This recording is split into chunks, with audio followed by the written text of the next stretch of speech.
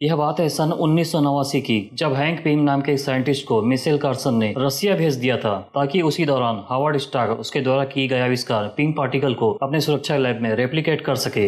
यह एक ऐसा आविष्कार था जिससे लिविंग और नॉन लिविंग थिंग्स दोनों को एक छोटा या बड़ा किया जा सकता था।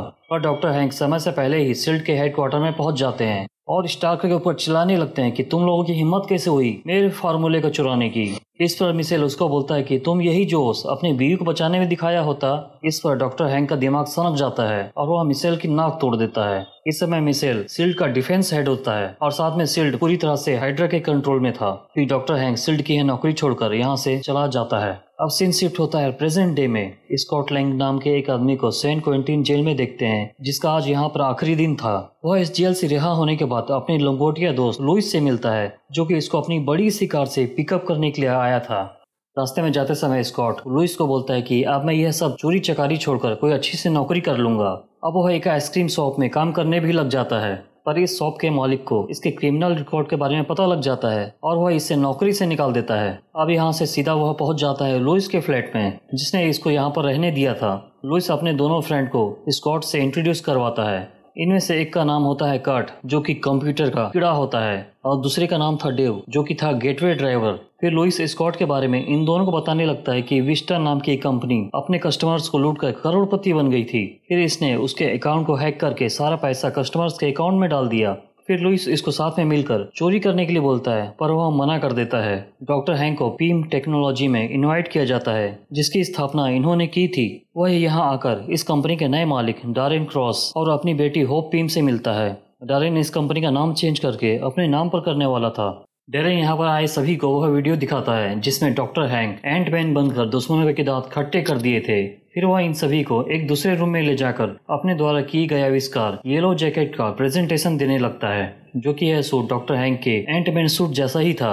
यह देखकर डॉक्टर हैंग बहुत चिंतित हो गए थे कि डैरेन इसको किसी के गलत हाथों में न दे दे। उनका सोचना बिल्कुल सही था, क्योंकि यहाँ पर मिसेल भी आया हुआ था, जो कि इससे यह सूट खरीदने के लिए बहुत उतावला था। सील्ड तो बुरी तरह से डिस्ट्रॉय हो चुका था, पर मिसेल अभी भी हाइड्रा के लिए काम कर रहा था। फिर होप डॉक्टर हैंग को बताती कि वो अभी सिर्फ़ नॉन लिविंग थिंग्स को ही छोटा कर सकता है। स्कॉट अपनी बेटी केसी के बर्थडे पार्टी में बिना इनविटेशन के ही चला जाता है और उसको एक गिफ्ट देता है, जिसको उसे बहुत ही पसंद आता है। इस बच्चे का स्टेप फादर जिम पैक्सटन, उसके यहाँ आने से बिल्कुल भी खुश नहीं था। उसकी एक्स वाइफ मैगी उसको बोलती है कि जब तक तुम अपने लिए अच्छी से नौकरी ढूंढ नहीं लेते और अपनी बच्ची का सारा खर्चा उठाने के लायक नहीं हो जाते, उससे पहले तुम अपनी बच्ची से बिल्कुल भी मिल नहीं सकते हो। स्कॉट गाड़ी में बैठे बैठे ही रियलाइज़ करता है कि अगर वह कोई नौकरी भी करता है तो भी वह अपनी बेटी का खर्चा उठा नहीं पाएगा और दोबारा अपनी बेटी से मिलने के लिए उसे एक साल से ज़्यादा समय लग जाएगा। स्कॉट फ्लैट में वापस आकर लुइस से उस ऑफ़र के बारे में पूछता है। तो लुइस उसको बताना शुरू करता है कि एमिली डॉक्टर हैंक के घर पर साफ़ सफ़ाई का काम करती है। उसने अपने बॉयफ्रेंड कार्लोस को बताया कि उस बूढ़े के बड़े से तिजोरी में काफ़ी तगड़ा माल है। अब ये बात कार्लोस ने अपने फ्रेंड अर्नेस्टो को बताई और मेरी कज़न अर्नेस्टो ने मुझको। अभी सभी मिलकर उस डकैती को अंजाम देने के लिए अपना अपना जुगाड़ करने लगते हैं। डॉक्टर हैंक के घर के सामने वाले पोल में चढ़कर कट टेलीफोन लाइन को काट देता है और मोबाइल सिग्नल को जाम कर देता है। फिर स्कॉट इस घर के फेंस वॉल को क्रॉस करके घर पर चढ़ता है और वहाँ लगे अलार्म को अपने डिवाइस से डीएक्टिवेट कर देता है और खिड़की के रास्ते से अंदर चला जाता है। नीचे वाले दरवाजे में फिंगरप्रिंट लॉक होता है। इसलिए वह अधेसिव टेप की मदद से दूसरे दरवाजे के हैंडल से फिंगरप्रिंट उठा लेता है और इसे प्रोसेस करके उस दरवाजे को खोलकर अंदर आता है। तो सामने देखता है कार्बन डेल से बनी बहुत बड़ी तिजोरी। ये वही स्टील थी जिससे टाइटेनिक जहाज़ बना था। अब वह इसे खोलने के लिए इसमें ड्रिल करता है ताकि वह इसके अंदर पानी डाल पाए। इसके बाद वह इसमें लिक्विड नाइट्रोजन डालता है। इससे अंदर का पानी बर्फ़ में बदल कर फैलने लगता है, जिसके कारण इसमें लगी बोल्ट्स गोली की तरह छूटती है और इसमें लगा दरवाज़ा नीचे गिर पड़ता है। इस तिजोरी के अंदर ना तो पैसे थे और ना ही हीरे जवरात जिससे स्कॉट बहुत मायूस हो गया था। अंदर में था तो सिर्फ़ मोटरसाइकिल का एक पुराना सूट ये सब घटित घटना को चिट्ठी में लगे कैमरे से डॉक्टर हैंग। इसे सीक्रेट रूम में बैठे देख रहा था। टीम टेक्नोलॉजी में डेरेन एक सिप को माइक्रोस्कोपिक साइज़ में छोटा करने की कोशिश करता है, पर उसका यह एक्सपेरिमेंट फेल हो जाता है और यह सिप मारी जाती है। अब सभी लोग वहाँ से वापस आ जाते हैं। स्कॉट यह सोचता है कि कोई आदमी इस पुराने सूट को तिचोरी में बंद करके क्यों रखेगा? इस सूट के बेल्ट में उसको रेड लिक्विड से भरी ट्यूब मिलती है। अपने जिज्ञासापन को शांत करने के लिए वह इस सूट को पहन लेता है और बाथ टब में खड़े होकर अपने आप को आईने में देखने लगता है कि वह इस सूट में कैसा लग रहा है। फिर वह राइट हैंड वाले ग्लव में लगे बटन को दबा देता है, जिससे वह साइज़ में छोटा होकर लगभग हाफ़ इंच का हो जाता है। तभी लुइस यहाँ आकर बाथटब में लगे नल को चालू कर देता है। इस नल से गिरते हुए पानी से लहर उठती है, जो इसके लिए सुनामी से कम नहीं थी। यह लहर उसको बाथटब से बाहर फेंक देती है। अब वो फ्लोर में बने हुए क्रैक से होते हुए रिकॉर्ड प्लेयर पर गिरता है। फिर वो उसके नीडल से टकराकर वह फ्लोर पर गिरता है, जहाँ पर लोग डांस कर रहे थे। वह उनके कदमों के बीच से आगे बढ़ता हुआ नीचे वाले फ्लोर पर गिर पड़ता है, जहाँ पर वैक्यूम क्लीनर के द्वारा उसको अंदर खींच लिया जाता है। इसका बैग फुल हो जाने से वह इससे बाहर निकलकर चूहे के सामने गिरता है। और इस चूहे से बचने की कोशिश में वह माउस ट्रेप पर जम करता है। इसमें लगे स्प्रिंग की वजह से विंडो ग्लास को तोड़ते हुए बाहर में खड़ी कार के ऊपर गिरता है और वैसे ही इस सूट का लेफ़्ट वाला जाम बटन ठीक हो जाता है, जिसके दबाते ही वो अपने नॉर्मल साइज़ में आ जाता है। फिर उसके ईयर पीस में उसे आवाज़ सुनाई देती है कि, इस सूट को तुम अपने पास ही रखो, मैं तुमसे जल्दी ही कॉन्टेक्ट करूँगा। पर स्कॉट तो इस समय यह सब चीज़ों का सामना करके बहुत घबरा गया था। इसलिए वो घर जाकर तुरंत ही इस सूट को एक बैग में डालकर उसी घर की तिजोरी में रख देता है। जब वो यहाँ से बाहर निकलता है तो पुलिस के हाथों पकड़ा जाता है। होप ने ही पुलिस को खबर दी थी, क्योंकि उसे लग रहा था कि वह इस सूट के लायक नहीं है।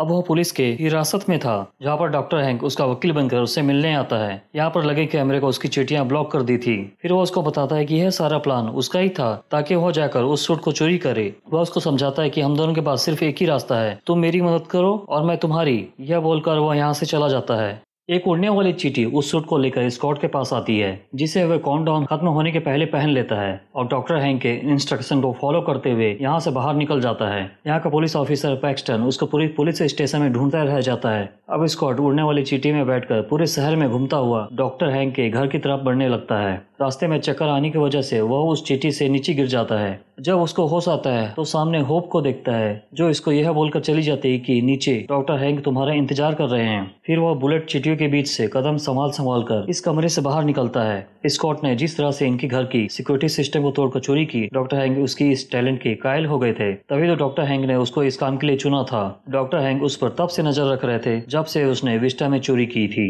स्कॉट को कुछ भी समझ में नहीं आ रहा था तो डॉक्टर हैंक उसको अपनी सीक्रेट लैब में ले जाकर बताने लगते हैं कि 40 साल पहले मैंने इस फॉर्मूले की इजाद की थी, जिससे परमाणु के बीच की दूरी को बढ़ाया या कम किया जा सकता है। यह फॉर्मूला किसी गलत हाथों में न पड़ जाए, इसलिए मैंने इसे दुनिया से छुपा कर रखा। फिर मेरे असिस्टेंट डैनिन को कहीं से पता लग गया तो वह इस फॉर्मूले के पीछे पड़ गया।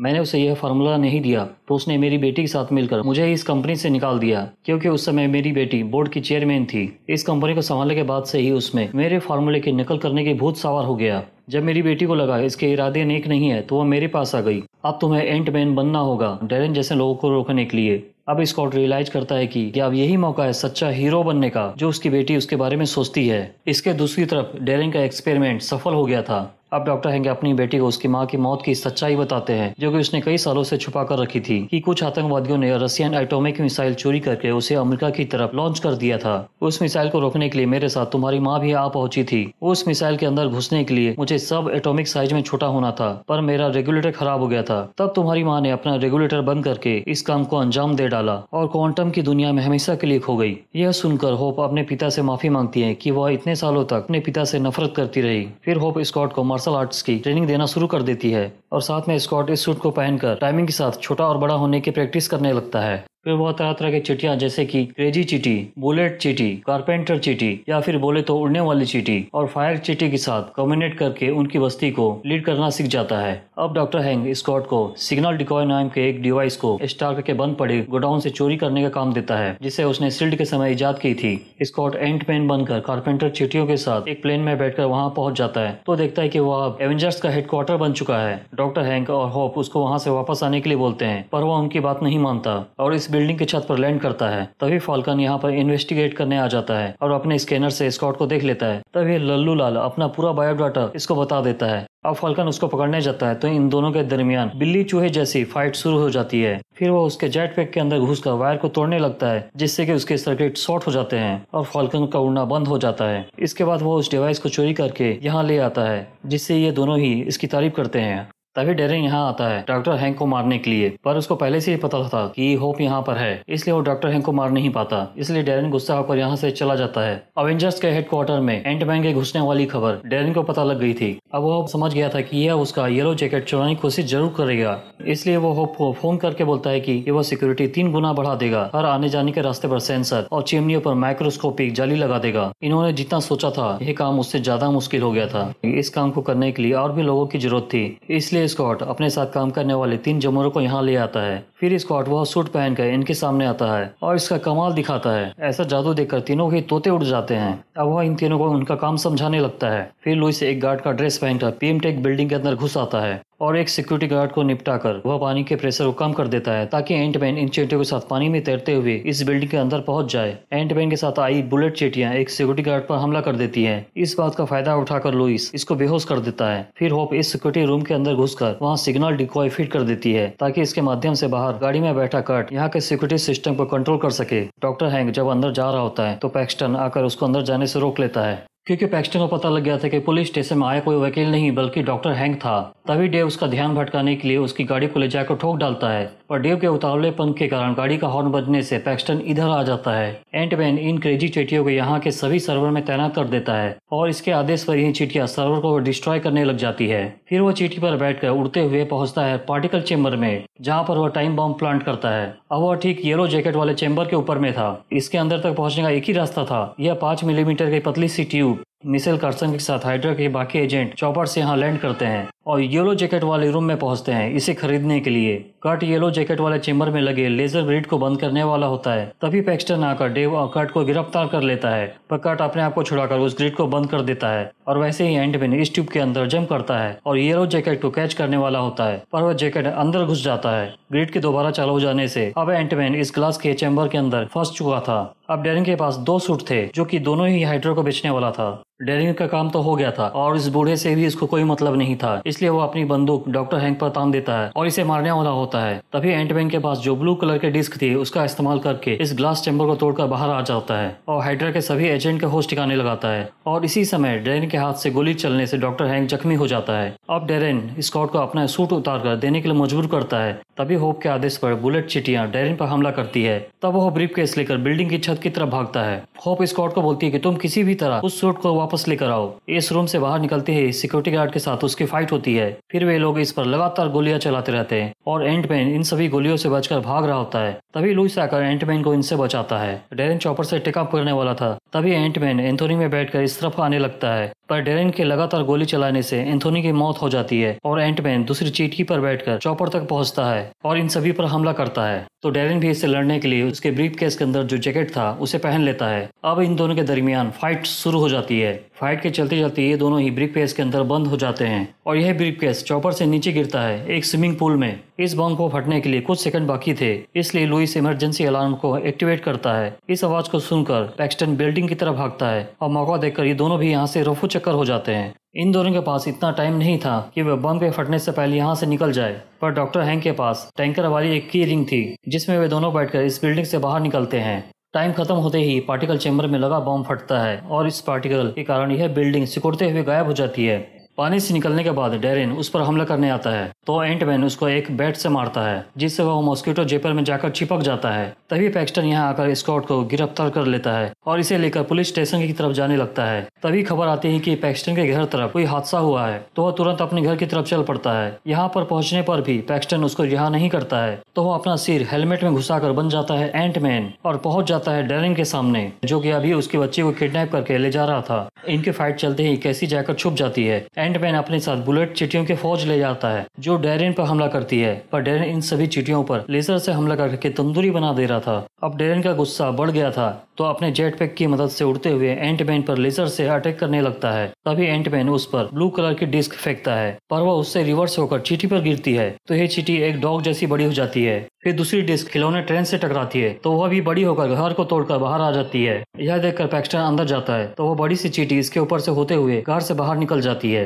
फिर पैक्सटन यहाँ अंदर आता है तो एंटमैन डैन के सूट के अंदर घुसने की कोशिश करता है, पर वह घुस नहीं पाता है, क्योंकि उसका सूट टाइटेनियम से बना था। डैरेन उसको अपने सूट से अलग करके दूर फेंक देता है और पैक्सटन सहित कैसी को अपने लेजर से मारने वाला होता है। अब एंटमैन के पास और कोई चारा नहीं था, अपनी बेटी को बचाने का। तो वो अपना रेगुलेटर बंद करके सब एटॉमिक साइज़ में जाकर डेरेन के सूट के अंदर घुस जाता है और उसके सूट के अंदर तहलका मचा देता है। और इन सभी के लास्ट में वो पार्टिकल चेंबर को भी तोड़ देता है। तो डेरेन छोटा होते होते वह भी सब एटॉमिक साइज़ में जाकर कहीं गुम हो जाता है। एंटमैन तो पहुँच गया था क्वांटम की दुनिया में, जहाँ से निकलना लगभग नामुमकिन था। वहाँ पर भी उसको उसकी बेटी की आवाज़ सुनाई दे रही थी। फिर वह ब्लू कलर की डिस्क निकालकर उसे रेगुलेटर के अंदर लगाता है और लेफ़्ट ग्लव वाला बटन दबाता है और दोबारा अपने साइज़ में आ जाता है। पैक्सटन के सामने आने पर वह उसको यहाँ से जाने देता है। फिर स्कॉट डॉक्टर हैंक के पास जाकर उसको क्वांटम की दुनिया से बाहर आने वाली बात बताता है। तो यह सुनकर डॉक्टर हैंक में यह उम्मीद जाग गई थी कि उसकी वाइफ जेनेट अभी भी ज़िंदा हो सकती है। स्कॉट के यहाँ से जाने के बाद डॉक्टर हैंक अपनी बेटी को वास्प सूट का प्रोटोटाइप दिखाता है, जिसको इसने अपनी वाइफ के साथ मिलकर बनाया था, होप के लिए। अब स्कॉट को अपनी बच्ची से मिलने की परमिशन मिल गई थी। अब वह बड़ी सी बुलेट चिटी कैसी की पालतू बन गई थी। अब हम चलते हैं इसके पोस्ट क्रेडिट सिंह की तरफ़, जहाँ पर कैप्टन अमेरिका और सैम विल्सन बकी को अपने कस्टडी में रखा था। इन दोनों को ही समझ में नहीं आ रहा था कि आगे क्या करना है। सुकोविया एकआउट के कारण टोनी स्टार्क भी इनकी हेल्प नहीं कर सकता था। फिर सैम कैप्टन को बोलता है कि मैं एक बंदे को जानता हूँ, जो हमारी मदद कर सकता है। लुइस स्कॉट को बताता है कि सैम विल्सन तुझको हर जगह ढूंढ रहा है।